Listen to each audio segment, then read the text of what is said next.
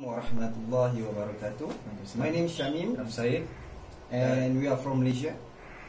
We are uh, been traveling in Kashmir for eight days Yes. and it was a very nice trip for us with uh, Srinagar tourism.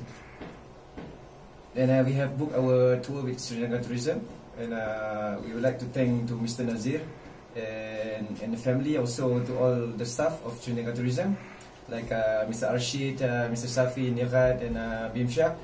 Is it? Inshallah. Mr. Bimsha for the, all the great uh, tourism and they provided for us.